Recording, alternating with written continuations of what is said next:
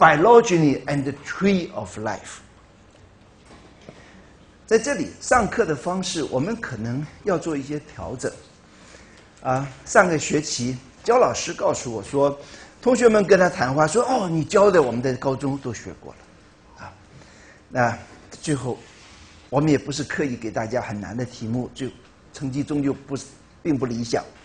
然后我跟焦老师正在编高中的教科书，然后昨天早上我们两位做了一些谈话，发觉哦，在高一的时候把 Campbell 的很多重要的内容都已经放在教科书里头了，到了高三还放什么呢？可能把整本 Campbell 的三分之二都放进去了。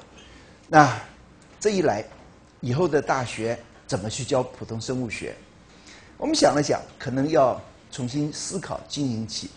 假如未来的同学拥有很多的知识进到校园、进到课堂里头来，我们大概会用导读的方式，而不是用这种一条一条知识的灌输。那这样子可能是将来教学比较好的方式。今天呢，我们综合两者嘛，是不是？一开始我做一些前言介绍，然后鼓励你再去读几篇啊中文的短文，但是回头还是得认真的把。这几个章节给啊学清楚它。来，我们用这个来做前言，是不是？这是你在地上可能找到的一种，你一眼看就会说这是一条蛇嘛，是不是？身上有鳞片，然后长长的身体，但是呢，你会注意到，如果你认真观察的话，它有些特色是跟蛇不一样的。它的肛门的位置很前面，不像蛇放的那么后头。然后你去看它的嘴，没有办法像蛇一样张那么大，把一颗鸡蛋给吞进去。它没有一个掉落的下巴。然后仔细再去看很多细节的话，你就会恍然大悟，说：“哦，这个大概不是蛇，这是一只蜥蜴。”啊，但是为什么蜥蜴跟蛇一样都失去了四肢呢？那演化生物学就告诉你说，这个叫做趋同演化。他们都住在啊土壤里头，或者是住在草地上头，滑行、爬行，在他们的生活方式有了很大的区别。四个脚没有帮助他们生活，所以呢就退化掉了。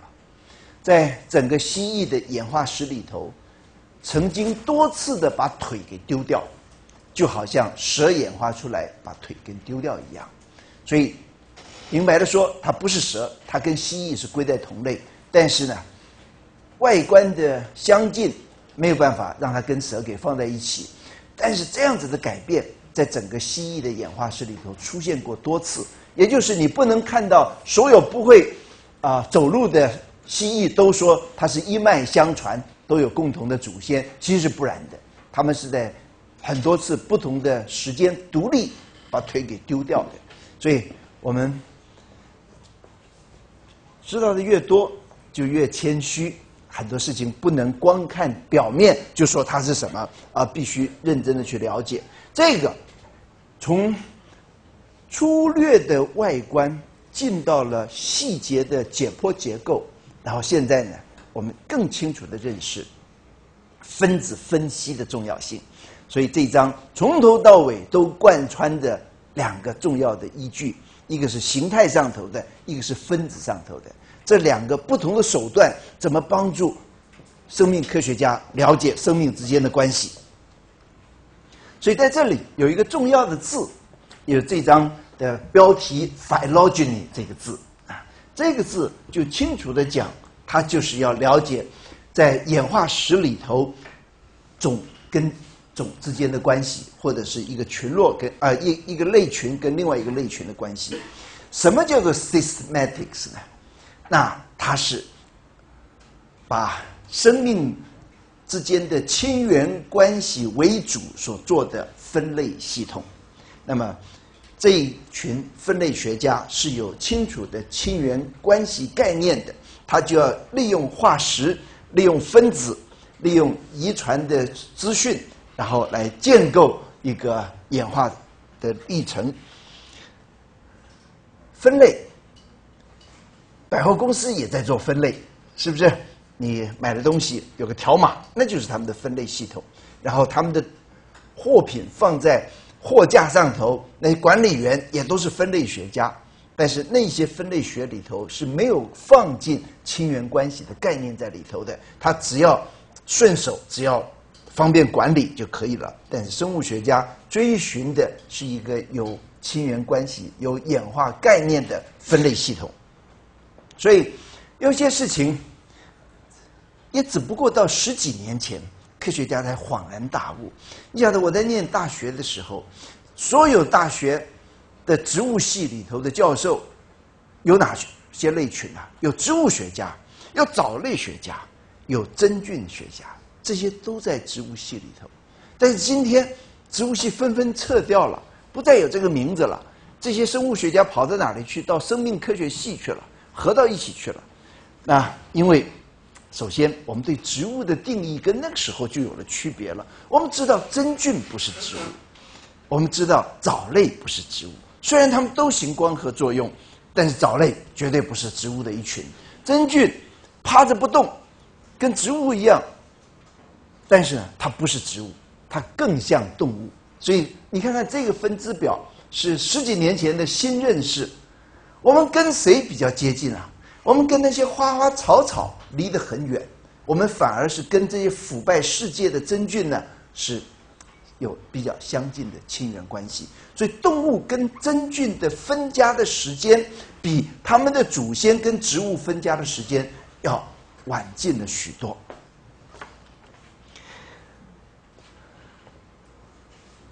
分类学有另外一个名字，taxonomy is the ordered division and the naming of organisms。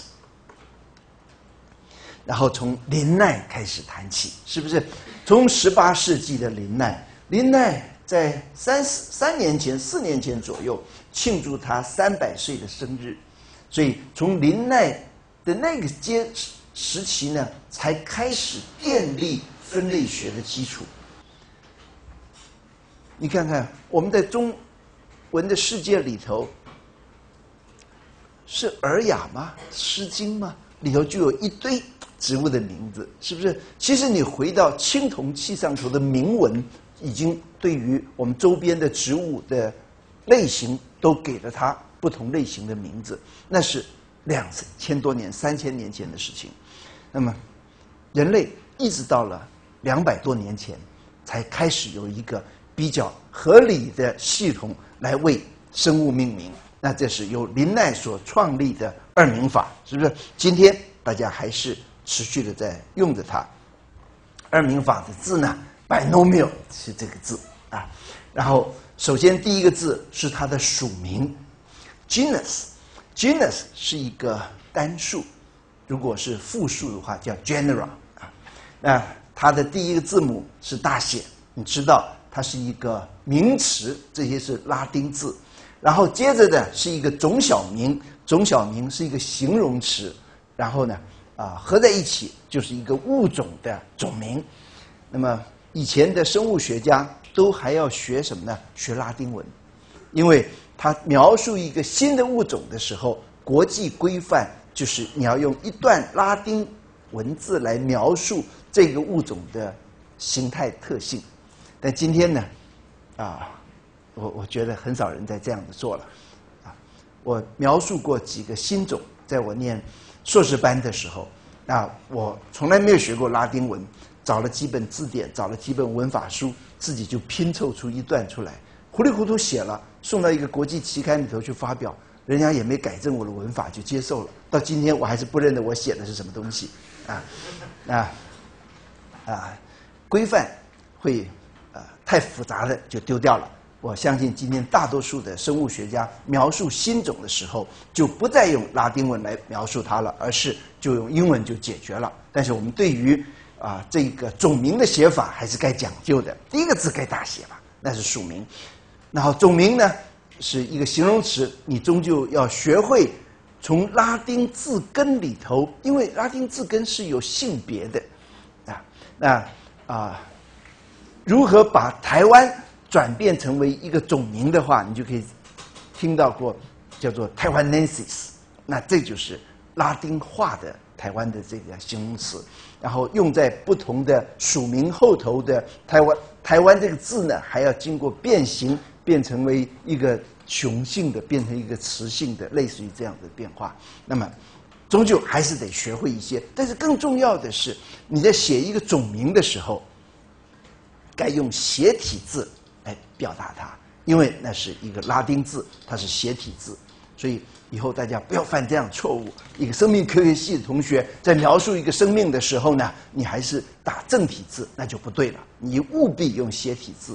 那么以前在打字机里头打不出斜体字出来，大家就在那个正体字下头画一条线，就代表它是斜体字。今天你们的电脑很容易就解决这个问题，也就没有这个困扰了。不过务必记住这些规范是什么，是不是？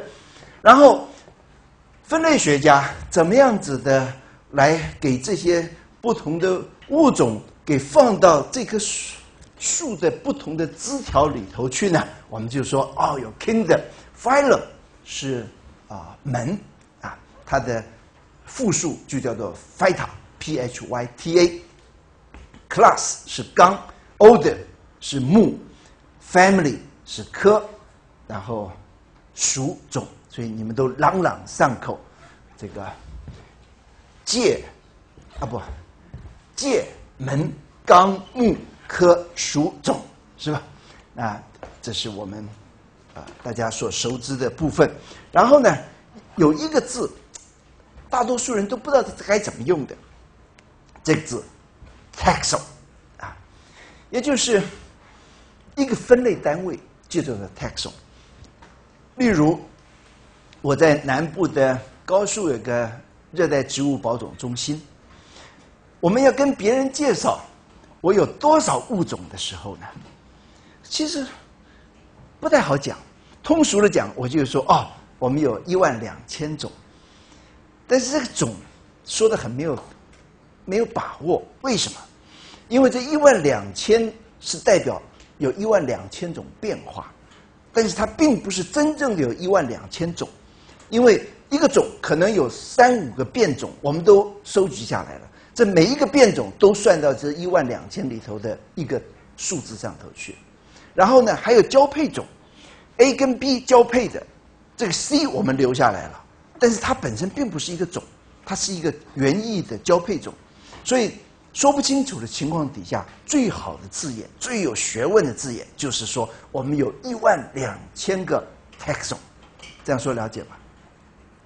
我有一万两千种这种变化，我有一万两千种分类学的单位，这里头可能包括九千五百种真正的种，包括两千种啊变种，包括五百种交配种。交配种指的是人为交配出来的，是不是？所以这个 taxon 这个字呢，对有心继续学生命科学的人，它的定义你该有一些认识。课本里头有这个图，我就不细说了。告诉我们说，一个豹子，那么在分类学家的描述里头，它是怎么一个分法的？这些字呢，其实不太好啊背下来的。Carnivora，你还是可以认啊。Carnivore 是什么？是一个掠食者，是不是？它是一个食肉性的一个生物。Mammals。Mammals 就是哺乳动物，Mammalia 就是这个啊，这这个纲的名字啊，就是哺乳纲。哺乳动物是属于一个哺乳纲。那它在什么门里头呢？它在 c o d a t a 它是在脊椎动物门里头或脊索动物门里头。所以这个是在这些名称上头，大家还是记住一些啊，有点好处啊。但是考试跟这个不相关，所以大家把这几个关键的字呢做一些认识，对于人家在描述什么的时候，你会有一个比较清楚的啊感觉吧。然后，systematics depict evolutionary relationship in branching phylogenetic trees 啊，一个亲缘关系树就试图这样子建立起来。那在这里就把。各种不同的动物彼此之间的可能关系呢？在这里做了这么一个简单的描述，大家看一看就好了。你也不必要记住这些名称是什么，因为大多数的人没有用到这些拉丁字的机会，除非你学生类分类学，或者你是一个生物学家。哎，你该把果蝇的属名记住吧，叫左色粉了，对不对？然后我们说线虫。大家就简化说啊，C elegans，C elegans 是什么？C 是它的属的简称，是 C 开头的。elegans 是天底下大家研究线虫几乎都用同一个种，这个种叫做 elegans。那 Drosophila，Drosophila 是一个属名啊，它是果蝇这一属，但是大家会用不同种的果蝇做研究，那就通称叫 Drosophila。这样说了解吧？呃，现在还流行用阿拉伯界做啊研究材料，Arabidopsis 是不是？那那个阿拉伯界讲的也是它的属名，所以在上学期的时候，同学们已经大致的看过了这些，我就希望大家能够还重新回忆了解一下子。Branching point 就指的这颗啊演化亲缘关系树上的分支的部分，Six taxa。taxa 是吗？是 taxon 的复数啊，那也就是两个亲缘关系很近的姐妹的分类单位叫做 taxa，叫 sister taxa。A rooted tree include a branch to represent last common ancestor。你总是希望知道它的祖先是谁嘛？但是我一开始就说过了。我们根本找不到那个根了。这个根指的是在这个枝条里头的共同的分叉点，叫做是它的 root，而不是指这棵树真正的根。这个根是什么？今天谁都说不出清楚。我们到底是在原始海洋里头的哪几个类群的生命演化出来的？到底我们是从来自于单一的祖先，还是我们是很多不同的祖先？杂交出来的后果，啊，等这一章最后头，你就可以看到有那么一个图，他做了一个清楚的建议。我们的祖先是海洋里头的一群原始的细胞，他们频繁的进行大规模的杂交，然后呢，最后配出了我们的真正的祖先类型，然后从那里开始发展。所以这个是啊不可考的部分，只能猜测。在这里。就刚才我说过，在同一个分支点分叉出来的两个物种，我们叫做两个 taxon。那这两个物种呢，叫做 sister taxa。这是它的一个节，一个 node，也就是一个 branching point。这个 ancestral lineage 就是他们共同的一个祖先的开端。所以大概都是这么一个描述的。那这里就是一个混杂的事情了。天底下一个分支就是分出两根出来，啊，那如果分出三根出来的话，科学家是不接受的。那这个是什么意思？也就是说，我们对它认识还不够周全。啊，在这种情况底下，你发觉这三个有来自一个共同祖先的时候，大家给它一个名称叫 polytomy，那就代表还有更多的知识在这里头需要了解。终究。可能是它跟它来自于一个分支，它跟另外一个生物来自于一个另外一个分支，但是今天我们还没找到那个生物，所以呢就画不出那么一个图出来。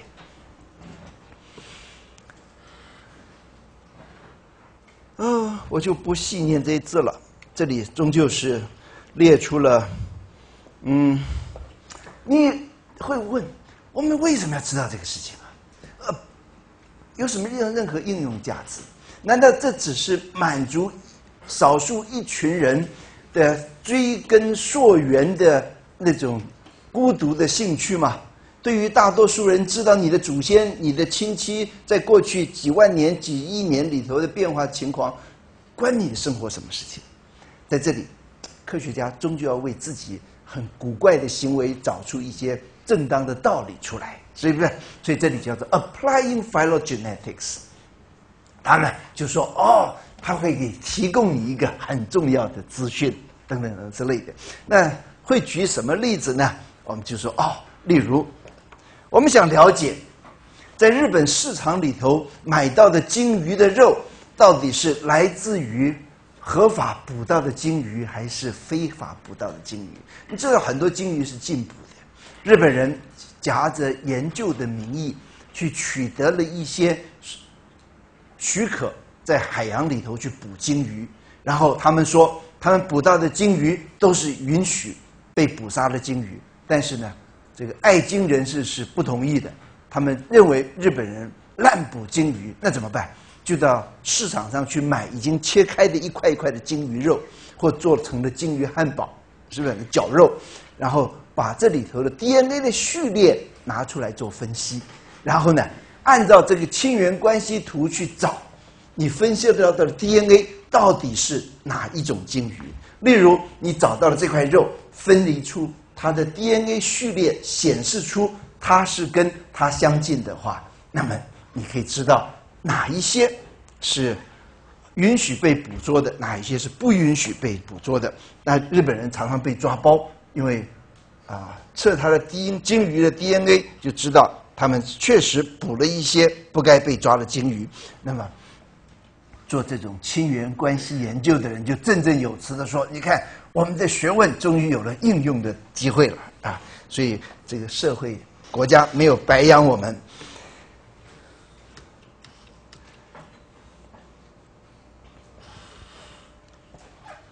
然后，phylogenetics of anthrax bacteria help researchers identify the source of a particular strain of anthrax。好，这又是一个啊这门学问的人要展示它的重要性的一个机会了。炭疽病毒。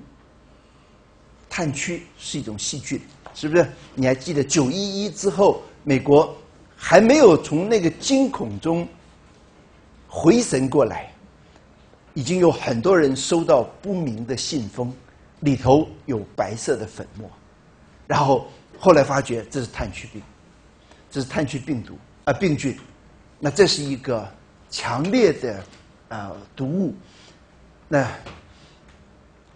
造成了很大的。恐慌，幸亏那个恐慌终究克服过去了。原因是什么？找到了货主是谁，也就是谁取得了这个病菌，从什么地方取得的？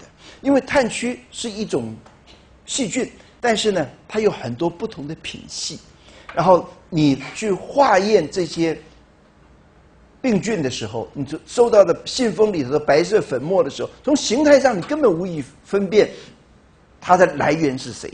如果你知道它的本质是什么，也就是说你化验了它 DNA 的序列以后，你可以清楚的知道它是属于哪一个品系，然后哪一些实验室里头保存着这些品系，你就可以按照这个线索追回去。那那是啊。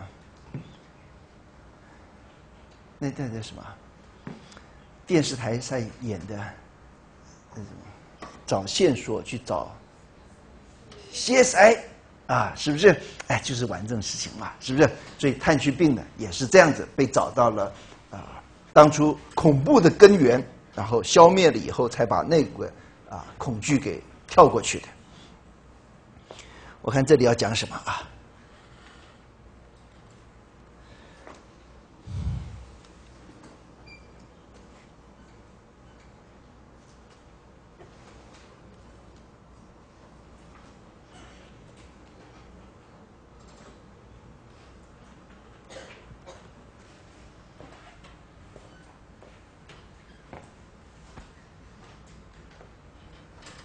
先忘掉它，终究是讲四个物种，它们彼此之间的亲缘关系排列是可以非常非常庞大的一个数字。等一下，我们我们来看，我们来看看，来，等我一下啊，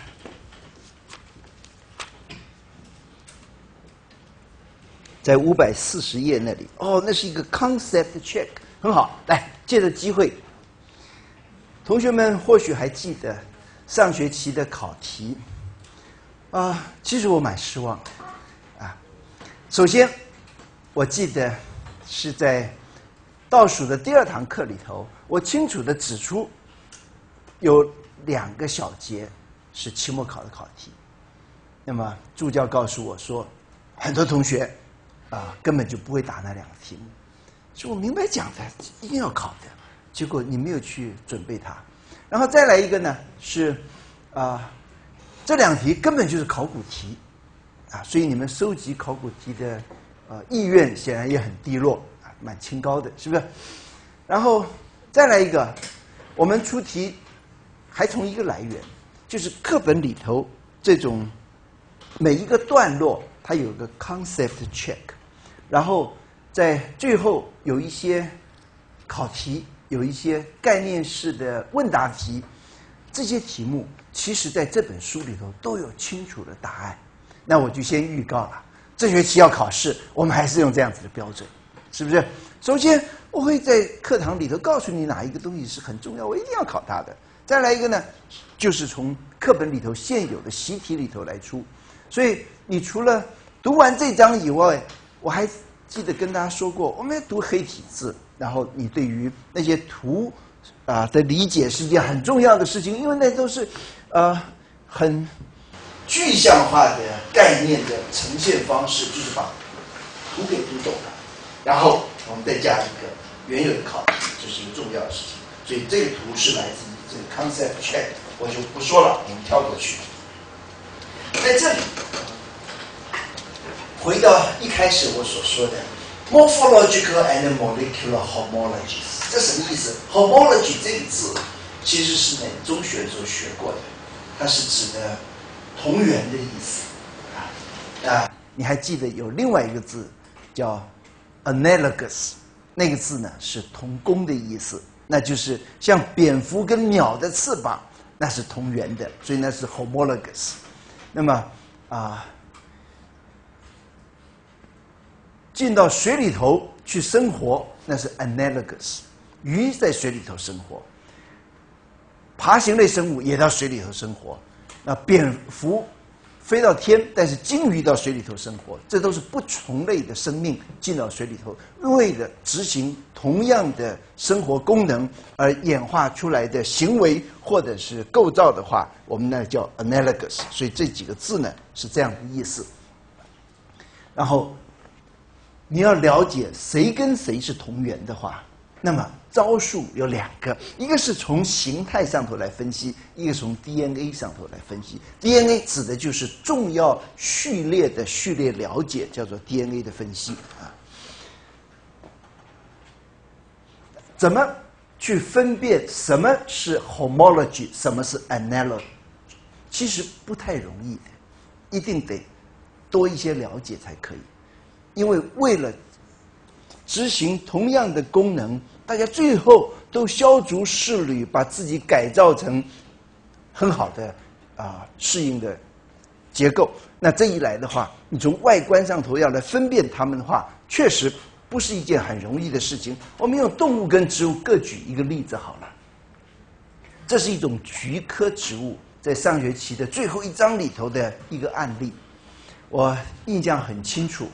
我到夏威夷的一个岛上，叫 Big Island，最大的岛上头，火山正在喷发。然后在那个岛上头，我们去特别看一种叫做 Silver Sword 的植物，英文叫做呃，中文叫银剑，银色的剑。那指的就是这种植物呢，它有一根根银色的叶片啊。末端啊是尖锐的啊是硬挺的，这个植物呢可以长到两三公尺高，是一个很壮观的长在那种干旱地点的物种。你怎么看都不像是一个菊科植物。然后在这里头列出了在夏威夷不同岛上头的植物，但是追根溯底，它们都是同一类型啊，也就是。他们有一个不太久远的祖先，是在五百万年以前落脚在可能在这个岛上头，因为夏威夷的热点在哪里？在 Big Island 上，岩浆从地底下从这里海底喷发出来，然后。造就出最早的一个岛屿在这里，可能最早岛屿还在这边，只是呢推得很远了，那是好几千万年前的事情，三千五百万年前的事情。这个热点所做出来的岛屿已经往西北的方向推到很远了。为什么会排成一条线的这样子走过去呢？因为板块是这样的方向的扩充，是不是？那么底下有一段热闹的时间，冒出了岩浆，造出一个岛。但是时间久了，它被推到这里，再推到这里，就一路推过去了。所以以这几个岛来说，最老的在这里，最年轻的在这里。这个岛的形成，差不多就是五百万年前形成的。那么科学家分析了在不同岛上的这一个类群长相很不一样的植物，他为什么想把它归在一起呢？因为它们开花很像，它们的外貌。平常的叶子枝条个高矮差异太多了，但是它们几乎开出同样的花出来，所以植物是用花的结构来做它亲缘关系的一个重要特征。那么把这一些植物的 DNA 序列做了清楚的比较以后，用外插法说它们什么时候开始分家。结果发觉是在五百万年前开始分家，这个数字跟这个岛形成的五百万年正好不。谋而合，那就指的是，那就指的是一个很重要的概念，在五百万年前，有那么一阵风，或者哪一种动物带着这个类植物的祖先的种子，从美洲掉到了这个火山岛上头，在这里萌芽成长，然后呢，它们是一脉相传，然后演化出很多不一样子的特征出来。最后，他们被深入研究以后，发觉这些植物其实是同源的，这是一个很漂亮的案例。另外一个动物的案例呢，是在这里，这两个鼹鼠在地底下活动的、打洞的，它们的形貌太相近了。你看看，他们为了在底下打洞，他们都需要有一个非常强壮的前爪。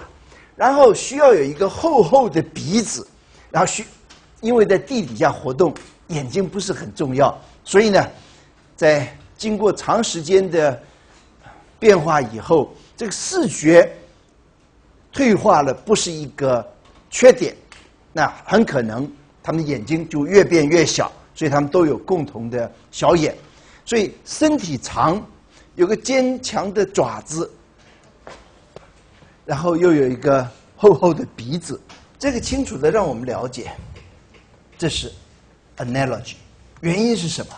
它们的本质差太多了，一个是哺乳动物，一个是有袋类动物。啊，不对不对，它们都是哺乳动物，一个是有袋类，一个是把孩子在子宫里头养大的，这是两群很不一样的生命。你还记得我们曾经说过，在澳洲，在人还没有到澳洲之前，在那一个广大的土地上头，几乎所有的哺乳动物都是在袋子里头把它的孩子养大，是人侵入了那里，才把狗啊、兔子啊这类生物带过去。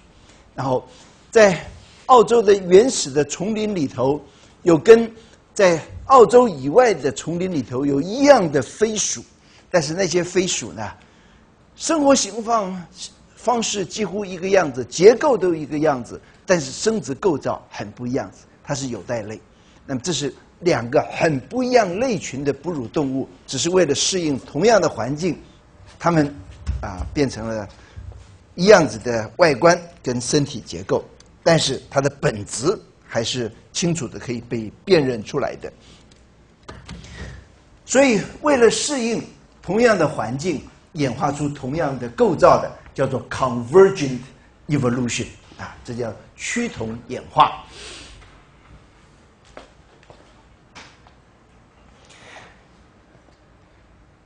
鸟跟蝙蝠的翅膀，这是同源的，都来自于四脚兽的前肢，所以这个叫做 homologous。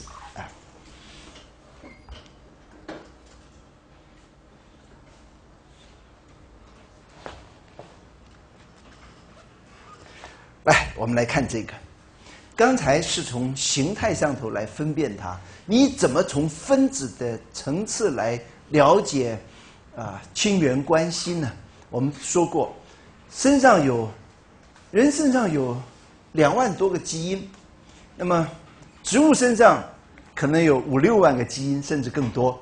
然后大多数比我们简单的生命呢，基因数倾向于比我们少一些，但是没有少很多。然后在维持生命的过程里头，有一些基因是扮演着关键性的角色的基因，它们在演化的历程里就几乎尽善尽美，不会有变化。原因就是它已经被挑选又挑选，它扮演重要的功能。它只要不是原来那样子完美，就是啊就会被淘汰掉，因为它原来已经够好了。了解我意思吧？啊，一个精雕细琢的艺术品，你要给它加一点、减一点，就是画蛇添足，那就是不好，就会被移走。所以在这样的过程里头，我们去挑选那些关键性的基因，它在演化历程里头累积的不同数量不会很多，然后去分析这些不同，你就可以清楚的了解它们分开有多久了。如果不同越多，就代表它们分开的时间越长。如果很相近，没有几个不同的地方，就代表他们是很晚近才分家的。所以这个是在分子上头的演练。所以，例如 DNA 上头的序列，他们两个原来是这个样子，一跟二，祖先型是这个样子。但是后头的变化呢，它可能有 deletion，就掉了一个；可能有 insertion，是插进一个。那么造就出来的就会有很不一样，它变短了，它变长了。我们今天看的是什么？我们把一个动物的肉取下来，或者是拿它的指甲、拿它的毛发，我们把 DNA 萃取出来，把那个基因序列定出来了以后，我们看到的是现在这个样子。你知道过去发生这种事情吗？根本不知道。所以我们今天看到这两个物种，今天有如此大的区别。它可能是原来一模一样的，只不过经过了这么一次变化以后，就产生如此大的不一样。你从前头数过来，不止长度不同，连序列都不相同。今天就是配合着分析 DNA 序列的技术越来越好，快速便宜的可以为每一种生物定出很长的 DNA 序列，再加上电脑很进步。它就会帮你解读，你稍微挪一挪，错开一下子，哦，重新排，就出现这样的一个组合。那经过这么一个组合，你就很清楚的知道曾经发生过什么事情。那么彼此之间的关系啊，变化到底算大还是不大，很容易的就可以给啊了解了。所以这就是经过重新挪位置以后出现的变化。那这一来，我们就可以清楚的说，他们彼此相近的程度有多高，是这个意思。那你怎么从分子的变化上头去分辨到底是同源或者是啊趋同演化呢？这也是这些啊科学家办得到的一件事情。那他们就会建构出一个 molecular systematics。然后用 DNA 用分子的证据呢，来告诉我们说演化的亲缘关系会是怎么样子。这个图是干什么的啊？这边都一样。接着再来谈这个字，cladistics，这是一个资序学。资序学指的就是有一个共同的祖先，然后两个后代。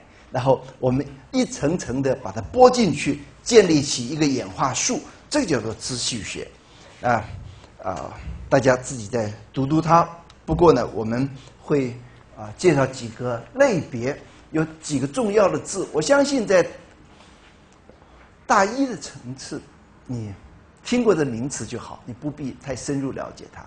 但是等到你学演化生物学的时候，这几个名词会变得非常重要。在这个阶段，先认识它就好。Monophyletic，这是什么意思啊？然后，philo 啊，paraphyletic，polyphyletic group，我大致的说明一下子。假如你对于 A、B、C 这三个物种之间的关系都很清楚了，那么它有一个共同的祖先，像这样子的关系，了解到这个程度，我们说这三个物种是一个 monophyletic 的组合，它有一个共同的祖先。但是如果你研究的对象是这个样子的，D 跟 E 很清楚的是来自同源，F 是独立在外头的。那也就是说，这个分支出来有三个对象，那这时候就代表我们对它的认识还不周全。像这样子的情况，我们叫做 paraphyletic 啊。那另外一个这个情况就叫 polyphyletic group。我们把它们之间的关系都弄清楚了，但是呢，还有几个类别在外头，我们不知道它们跟它之间什么样关系。那这种情况出现的时候，我们就说这是一个 polyphyletic。好。我大致做这样说明，但是在后头的应用，你们在这学期里头碰不到，所以听过就好。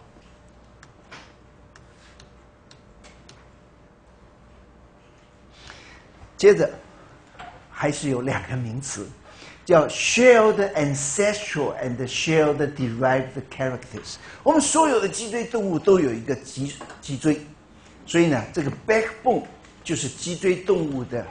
Shared ancestral character，啊，祖先的共同特征在所有的成员里头都出现。但是呢，我们跟猫跟狗一样都有毛发，那但是其他的脊椎动物没有毛发，鸟是有羽毛，爬虫类是有鳞片，跟毛发的结构跟分子是有区别的。那所有哺乳动物的毛发特征。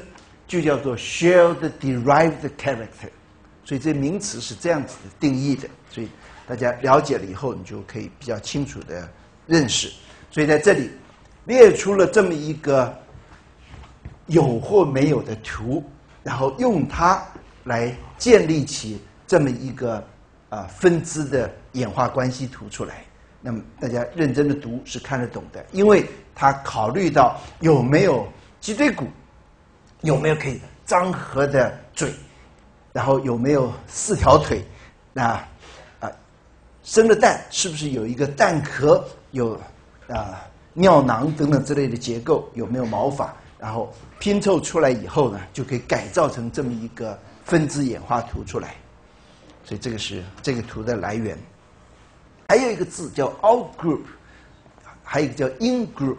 今天大家也是大概知道一下就好。也就是你在分析这些生物彼此之间的亲缘关系的时候，所有你被当成一群的生物，这个叫做 in group。但是 in group 需要有一个参考的物种来一起做分析，那个物种叫 out group。所以，假如我们要分析所有的脊椎动物的话，那么这些所有的脊椎动物叫做 in group。然后你要显示它之间的特色区别的时候呢，你会挑一个果蝇跟它一起比较，那个果蝇呢叫 out group，是这个意思啊。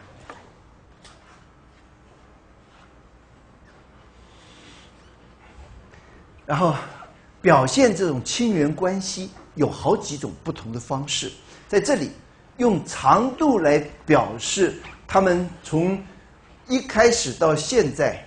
变化的速率有多快？这是一个用这个线的长短，既表现出它们之间的关系之外，也表现出谁变得比较快。例如，以 zebra fish 就是斑马鱼代表所有的鱼的类型的话，它这条线特别长，那就代表哦，它演化的速度呢是比较快一些的。所以这个是这个图的道理。但是今天。问题是，所有活着的生物都是在这个演化的终点线上头，是不是？或者同一条线上，我们在时间点上都在同一个点上头。所以今天明白说，我们应该并列在这个地方。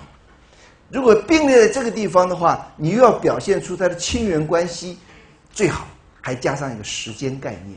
所以这是一个最理想的。演化亲缘关系图了，大家并列在一条线上，然后用线的长短、分支的情况，再配上时间概念在里头。所以这是 Paleozoic 古生代，然后这是中生代，这是新生代，然后按照化石的记录来说，这个分支点是在什么时候？那今天呢，我们又可以用分子时钟的概念，配合化石的记录来调整这个分支点的位置，所以这个是逐步的可以让我们切近这亲缘关系发展的历程了。哦。好像讲的很慢啊，那离这堂课结束还有一段距离。不过我倾向于不必讲全部，好吗？同学们，你可以自己读一些的。但是我现在要谈的事情是重要的，所以让我谈完这个事情之后，我们就下课休息一段时间。有一个很重要的方式是让你来决定这个亲缘关系是如何的。大家翻开课本。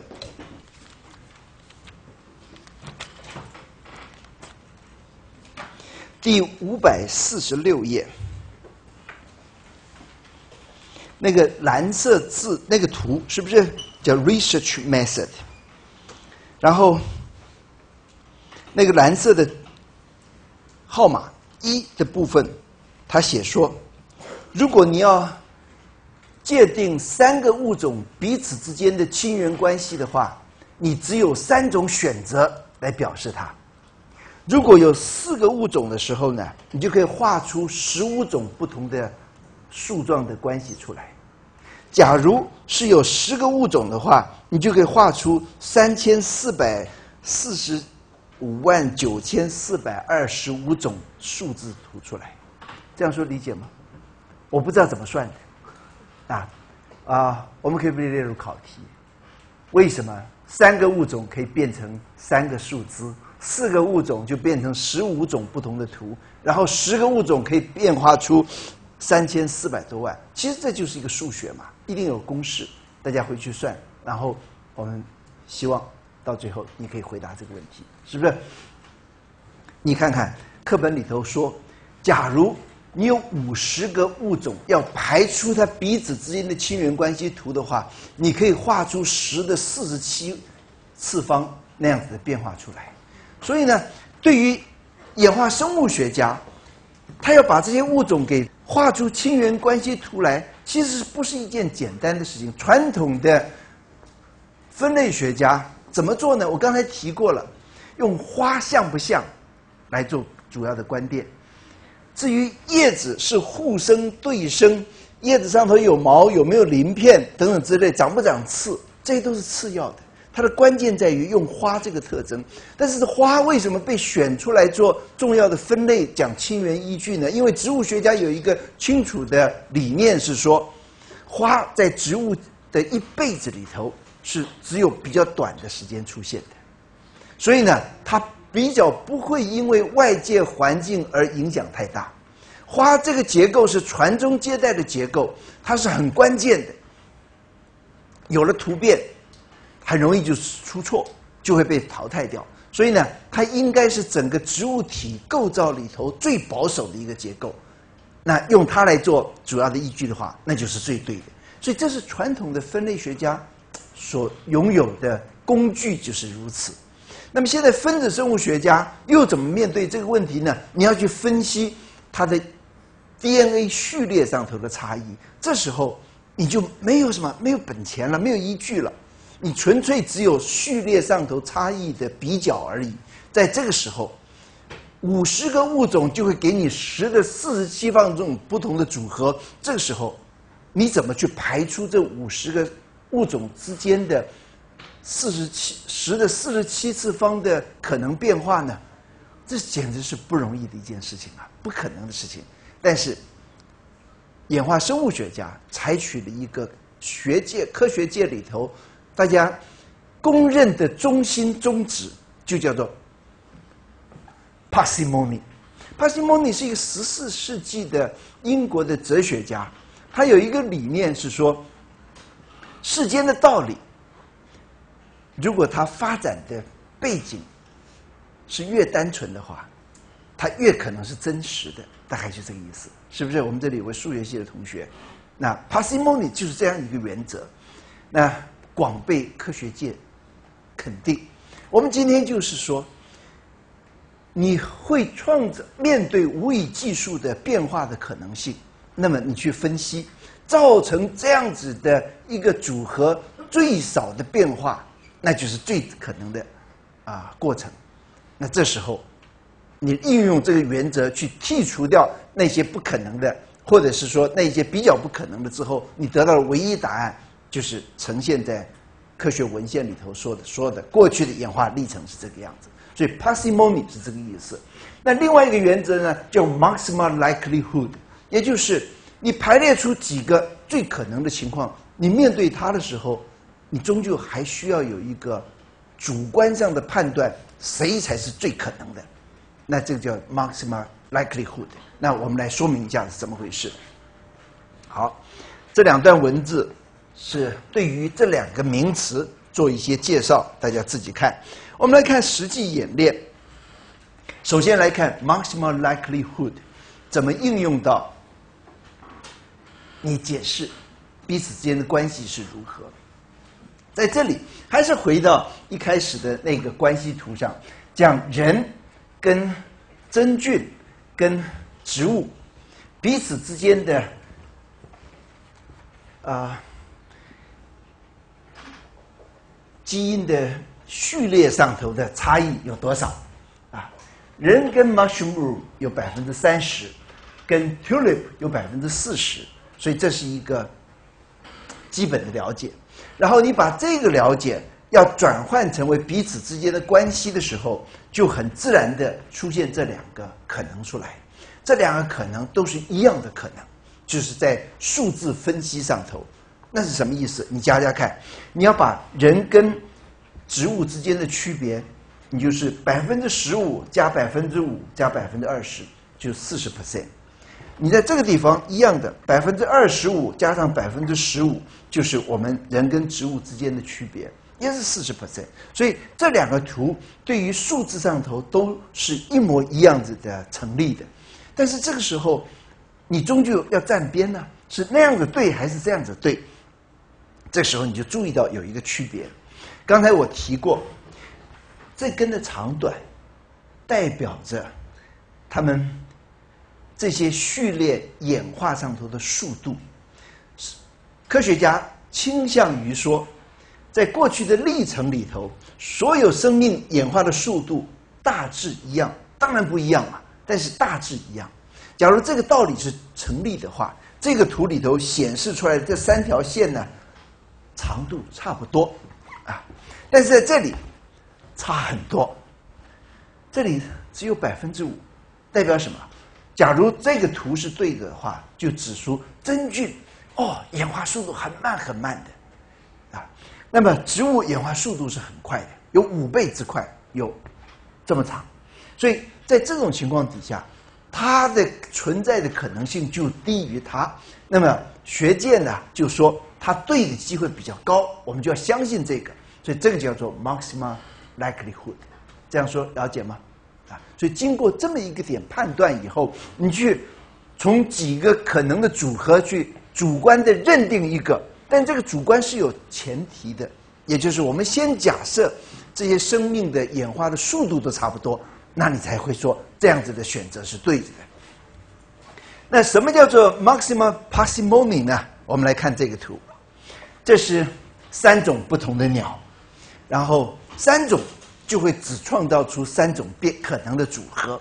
那它有这三个可能，三种不同鸟，这三个，你到底认定哪一个才是对的呢？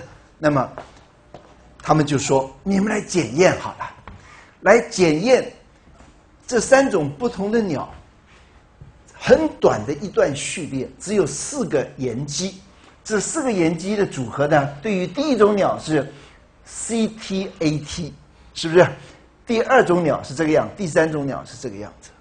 那么，先假设由经验从其他的知识了解，它们的祖先型是这个样子。好，所以我们先假设祖先型是这个样子。今天这三种鸟彼此之间的关系是如何？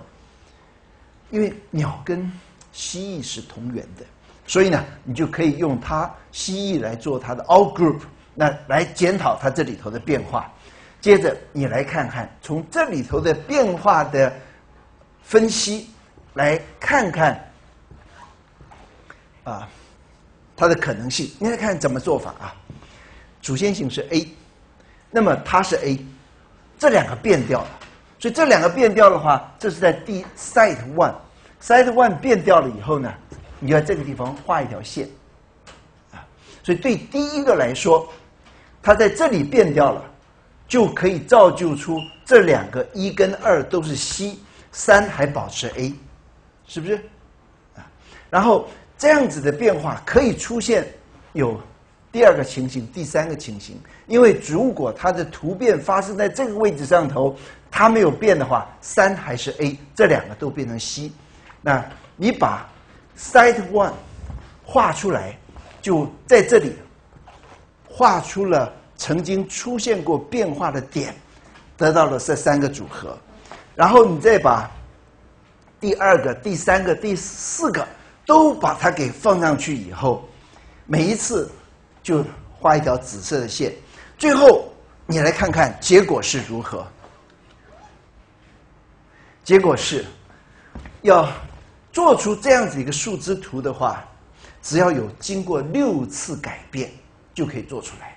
如果要做出这样子的话，要有经过七次改变才画得出来。所以呢，对于演化生物学家，就依循着 Max，呃，又依循着 Parsimony 的原则。Parsimony 的原则就是经过的次数越少，机会越高。那么就会说，这三种鸟经过基因分析以后，它们彼此的亲缘关系是这样子排列的。这样说了解吗？那这是一个。比较简化的案例，那显示出这个区别没有很大，六跟七嘛，你会说哦有什么了不起？但是呢，你要晓得，他们分析的基因序列是要长很多，所以最后选出来的数字差异就会很大，那么清楚的显示出哪一条路子才是正途。这样说了解吗？你会批判说哦这种事情怎么可能嘛？是不是？为什么天底下都要走捷径才走得到呢？但是你在面对没有其他的选择情况底下，你要需要找一个原则的时候，这群生物学家做了这么一个选择，所以我就大致做这样子的说明。那么我们休息几分钟再继续，好吧？再讲的话就累死了。好，来，各位同学，我们。进入今天的第二阶段，还是谈亲缘关系。现在，我想挑一个主题来说一下子。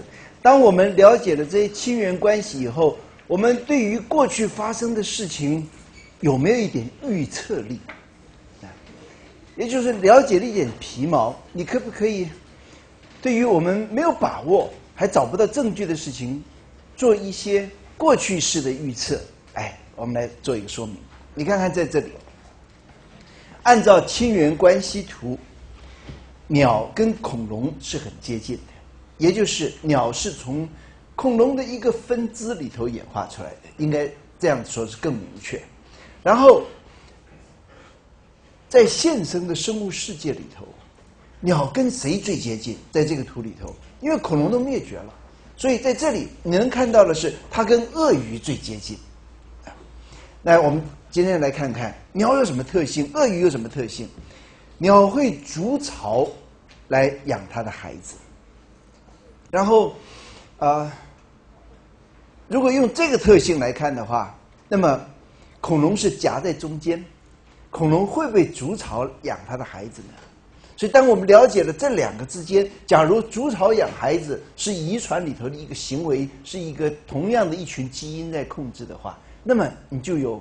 合理的想象说，恐龙也会育雏，所以这个是我们从亲缘关系图上头啊得到的一个可能的推论。接着，我们来看看恐龙的化石，把这一窝恐龙蛋给跟骨头复原了以后，你会说有这么一只恐龙坐在一窝蛋上头，在孵化。啊啊，鳄鱼是会照顾它的蛋的，鸟是坐在蛋上头，用体温来加热它。鳄鱼是把蛋用沙子掩盖起来，然后几乎不离左右，一直等到啊小鳄鱼孵化出来，然后还照顾它一段时间。所以，如果是如此的话，我们在恐龙的例子上头也清楚的看到了同样的行为。所以这里头就是从了解过去，然后有了一些预测的现象。那边两位同学，好，知道啊。我再来看看还有什么案例谈啊。好，这里刚才提到了一个生物的演化史，是在它的基因体里头被记录保存下来。那么多的基因，你要分析什么呢？就看你想知道很长远的关系，还是很短暂的关系。这是什么意思呢？就是你如果想了解跨很多不同物种的，而且跨很长时间的演化关系的话，你就要去找那种非常保守的基因。大家的首选之一就是 ribosome RNA。ribosome 是核糖体，核糖体一个颗粒。是有好几十种不同的蛋白质所构成的。例如，核糖体的一个 large subunit，大的颗粒，核糖体一个大一个小，对不对？那那个大颗粒里头，一般是有三十四种蛋白质，个别有一个包在一起，然后中间放进了一小段 RNA 在里头。这一段 RNA 叫做 ribosome RNA，那它负责把这些蛋白质给啊。卡在固定的位置来塑那个形，然后来发挥它的功能。所以呢，这段 RNA 重要的不得了。如果它有一点损伤、有点错误，这功能就不能发挥。所以在演化的历程里头，已经让它到了一个尽善尽美了。所以它跟不同物种之间的这个 ribosome RNA 的区别一定少之又少。什么区别可以留下来？就是那些无关紧要的区别。那两位同学，我可以请你们停止谈话吗？才两分钟，你们叫我纠正两次。那位穿绿色衣服同学，我请你坐到第一排，来，过来，快。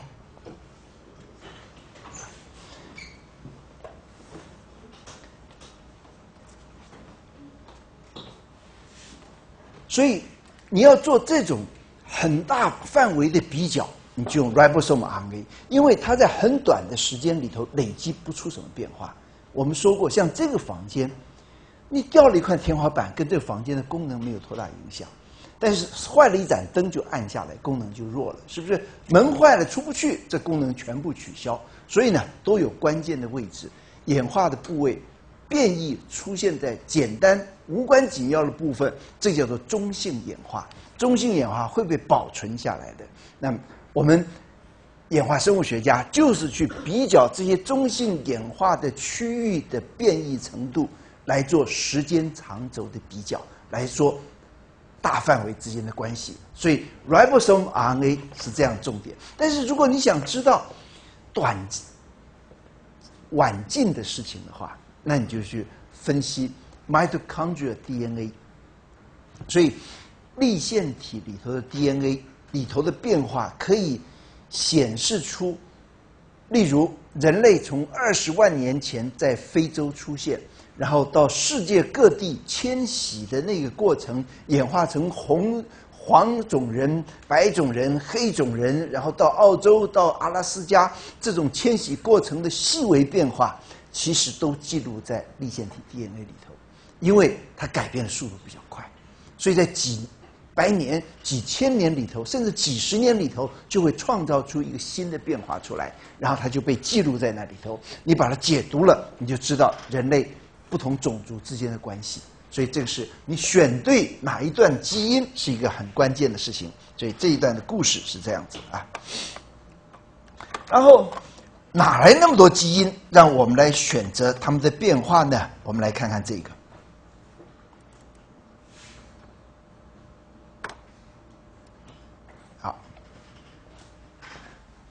这是一个祖先型的基因，然后它产生了突变。这两个是它产生的两个物种，所以它源自于它，它源自于它，它的区别在哪里？就在这个地方，也许是一丁点的区别，就造就了它们两个彼此之间不能交配、不能繁殖，变成独立的物种。那么这样子，这样子直线下来的演化呢，叫做 orthologous genes。哦，我觉得这名字也不必记下来，知道就好，好吧？我不要出这么琐碎的啊考题来考大家。但是你知道种的创造，这是一个根源。另外一个，我们说过，像哺乳动物的鼻子，我们可以闻多少种不同的气味？哺乳动物至少有一千个基因是来管气味的分辨的。我们人身上才两万多个基因，但是呢？跟气味相关的基因竟然就长达一千个，多达一千个左右。所以你可以知道嗅觉对一个个体、对一个哺乳动物的重要性是多少。然后那嗅觉越灵敏的动物呢，它的嗅觉相关的基因的数目就越高。老鼠的、狗的都比我们的嗅觉基因要多很多。那这么多跟嗅觉相关的基因怎么演化出来的？其实是来自一个来源。这个来源就是如此，这个叫做基因 duplication。原来只有一个基因，但是呢，它复制了它自己，变成两个，变成四个，变成更多个基因。在那个地方，在一个细胞里头有多达上千种它的副本在里面。然后这样子跟嗅觉相关的基因，每一个可能做了一些小幅的改变，就去感受不同的气味去。所以这一来，这个动物就可以闻到很多种不同的变化。这样说了解吧？所以突变、基因的啊复制，这些都是让生命界能够有这么多多样化的根源。那它的名称呢，就叫做 paralogous genes。啊，名称还是一样不太重要，大家记住有这些事情就好了啊。然后我们再来看看。在上学期，我曾经谈过的一个案例，在这里复习一下子。你怎么从亲缘的这些关系图分子的证据去谈艾滋病的历程会是如何？今天我们很清楚的知道，艾滋病的病毒有好几个品系，然后它可能是在不同的时代进入到人类的身族群里头去，在我们身上开始传播开来。那其中有一个品系。它曾经出现的案例，把它标在这个地方，然后把它那种基因序列的区别呢，啊，给排出来，然后这是它的时间轴啊，所以序列的差异再配上时间轴，我们就可以画出这么一条直线出来。所以这边有没有案例？这边没有案例啊，这是想象的、假设的，因为。随着时间的变化，我们看到序列的变化的程度清楚的扩增了。然后统计分析结果指出来，这是一九三零年代的时候，这一类病毒从野外透过其他的灵长动物进到了人类的族群里头去。这个是用啊外插法可以做这样子的。后来在一九五九年。很清楚的找到一个病例在这个地方，更支持了这条线的预测力可能是如何。所以用这种方式，我们就知道了哦，原来在一九三零年代的时候，这种品系的艾滋病病毒已经进到人的族群里头去了。谈了这个案例以后，我们来看看这个：From two kingdoms to three domains，是不是？以前分类学家把所有的生物分成植物跟动物，这最早先的案例了。然后在十年前，清华大学的同学们在读这本教科书的时候，是把所有的生物分成五个领域，就是啊人和生物，然后啊原生生物、真菌啊植物、动物五类。但今天呢，我们教科书把它简化了，说是三类啊，所以。就是 two kingdoms to three domains。今天的 three domains 是什么样子呢？就是这个图。我们说地球上活着的生物就在这三个分支点上头。这是真核生物，这个是细呃，这是古生菌，这是细菌，啊啊，我们所认识的动物在哪里啊？动物在这里，真菌在这里，植物在这里，剩下的广泛的就是下个礼拜。我们要谈的原生生物，所以原生呃呃原呃真核细胞界呢，就是这么一个组合。过去我们以为世间的生命只有这条线跟这条线，后来把真菌给放进来了。真菌你看跟动物接的多近，那植物放进来了，我们把旁边的绿藻、红藻放在边上，然后还有更广泛的生物是大家过去不那么熟悉的，这个是真核生命界。然后这个是过去大家还稍微知道的，就是细菌界，是不是？那把那些啊会行光合作用的细菌，然后啊蓝绿菌等等之类的放在这个领域里头去。然后这边是过去大家比较不熟悉的，就是古生菌的部分啊。这是今天我们所了解的三大类群的啊 three domains 的生物分类法啊。这是细节，我们就不多看。A simple tree of all life，依照什么？Ribosome RNA 基因，是不是？你要做这么大广大领域的时候，你当然靠这个分子来告诉我们最接近事实的分析资料来源是什么。那么有一个重要的概念叫做 horizontal gene transfer。我记得上学期也跟大家讲过，在生命刚刚早期出现的时候，细胞跟细胞之间的界限，种种跟种之间的界限是不那么清楚的。所以呢，我们的祖先细胞是吞进了一个细菌到它身体里头去，那个细菌是会消耗氧气的细菌，吞进来以后就变成我们的立腺体，还记得吗？啊，然后那些行光合作用的植物。是吞进了它的祖先细胞，吞进了一个细菌，那个细菌是会行光合作用的。那吞进来以后，那个细胞就能够行光合作用。后来演变成为不同的藻类跟植物界，所以靠吞食可以把外头的大量的基因组合一个另外一个生命体转进自己的细胞里头来发挥工作。这是多大规模的基因的吞入？那是几千个。基因进到自己的身体里头来，这个当然叫做 horizontal gene transfer，这是平行的基因的转移。这平行转移基因转移有很多不同的规模。你也知道，很多水里头的细菌随时都在张开它自己的口去把别人的 DNA 吃进来，是不是？它会在细胞膜上制造出特别的通透的洞，然后让外头的 DNA 进来。然后变成自己的 DNA，所以那是小片段的少数基因的转移，在自然界里头很平常。然后还有一些基因的转移是靠着病毒的感染，一个病毒去感染了鸡，然后它再来感染我，就把鸡的基因带到我身上来了。这个在现实世界都还在发生。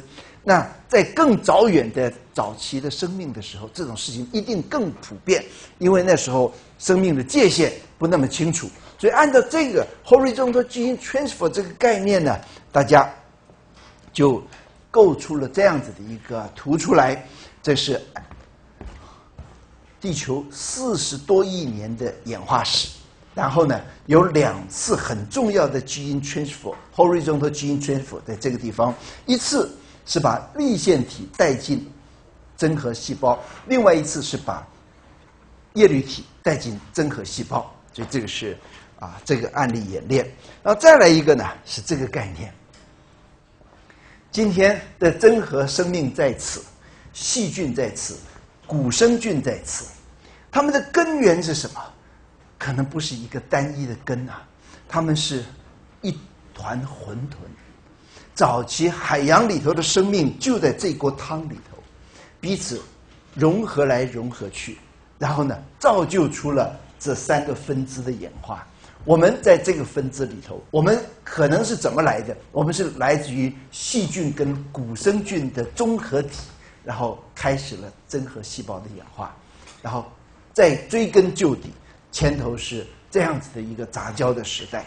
所以这张重要的内容大致如此，好吗？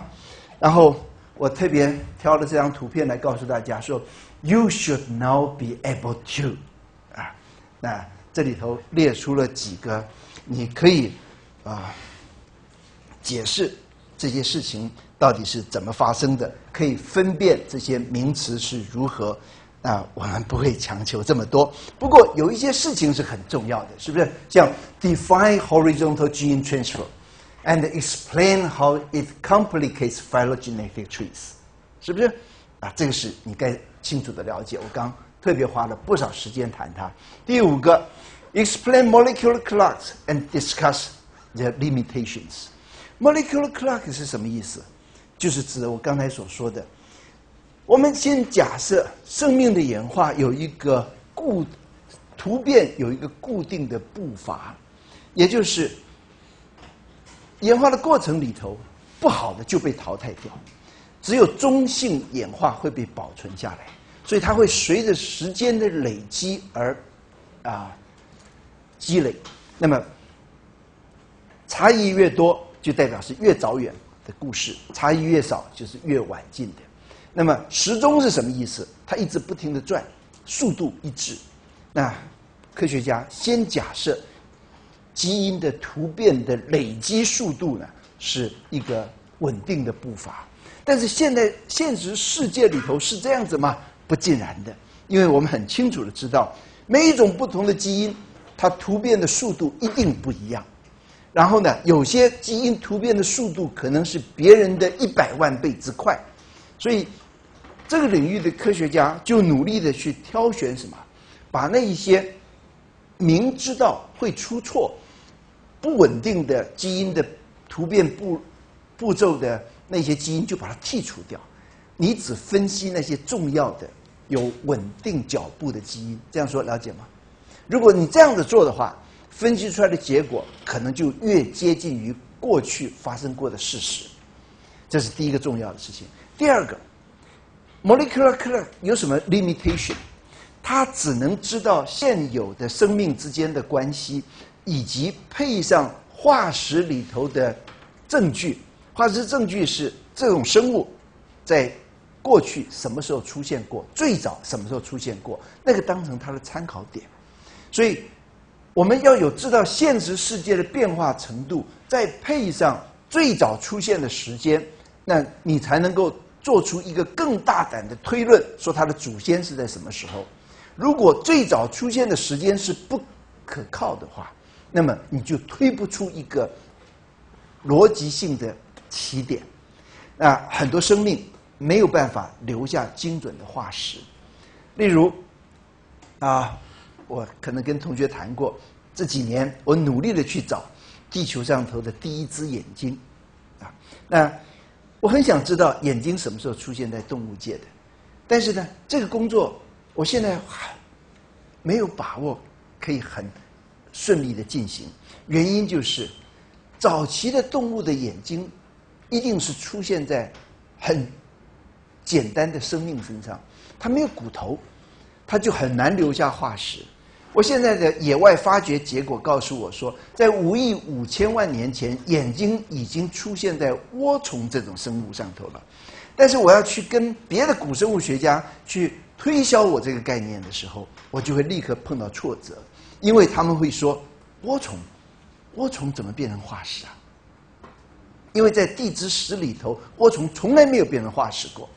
只有涡虫的蛋，有少数的在那种变成木乃伊之类的生物身上还可以找到涡虫的生殖构造，但是呢，你要看到涡虫本身，最早的一个记录是两千万年前埋在一块琥珀里头的一只涡虫，只有那么一个唯一的案例，那是两千万年前，那也就是涡虫的演化史。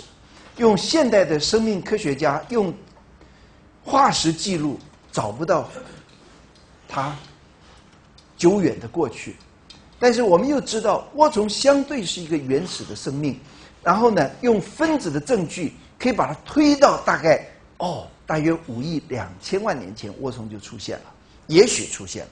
但今天呢，在他们最早的推论之前三万年的地层里头，我说这是涡虫，哎，这个要说服别人就不是那么容易。这样说了解吗？所以啊，molecular clock 就有一些。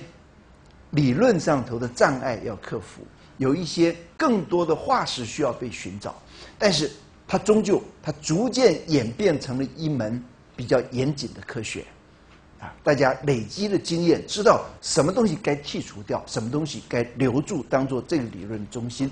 谁是这个 molecular evolution 的啊祖师爷？是这个行业里头公认的鼻祖呢？其实就在台湾，在中央研究院的生物多样性中心的主任叫李文雄李院士，他大学的时候应该是中原大学土木系的学生，然后后来他觉得他喜欢数学，就去念数学去了，念了数学念得很好，他喜欢生物。就开始来研究生物，然后把数学跟生物结合在一起，一很好发挥的地方就是在 molecular evolution 上头。所以你去查那些 molecular evolution 这门课所用的教科书，大家普遍的用的是李文雄的书啊。我们很庆幸在台湾有这么一个大学问家在这个地方，他过去啊他的演讲都是这个行业里头很重要的。在几个月之前。大家或许在生科院的电梯上头边上看到一张红纸，恭贺我们的合聘教授李文雄院士得到孟德尔奖，啊，也就是有那么一个组织呢，把这个行业里头最有贡献的人给他这么一个年度大奖，叫孟德尔奖，他就取得了这个荣誉。所以我大概就把这一章里头。几个重要的概念里头，我特别挑出两个，我认为大家应该多做一些认识的。好，我说明到这里，这一章就到这里，然后还有半个多小时，我们谈下一章，好吗？来，注记。